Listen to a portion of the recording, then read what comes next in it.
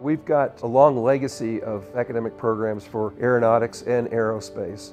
We also offer an incredibly flexible program for our students because they're allowed to go fly at uh, a, a, number of uh, what we refer to as fixed-based operators that provide the actual flight training. Students are getting everything they can that would make them the most competitive when they graduate, uh, both on the flight side and on the space side. We have the highest level of FAA certification as a flight training uh, facility. We're one of the most extensive, if not the most extensive, collegiate institution for indoor flight simulation. We've got a number of labs that currently house about $48 million worth of assets for flight simulation technology.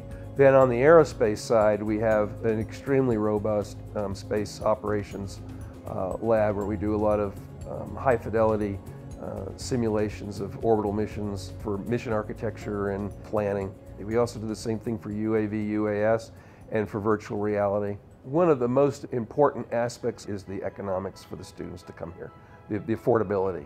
Our faculty have got extensive career experience plus the academic experience. They have arrived here because they have a passion for the flight side of both space and atmospheric flight. We have graduates that vice presidents of major airlines, legions of captains and first officers, and not only the small startup airline, but also the, the flagship carriers like the Uniteds and the international airlines.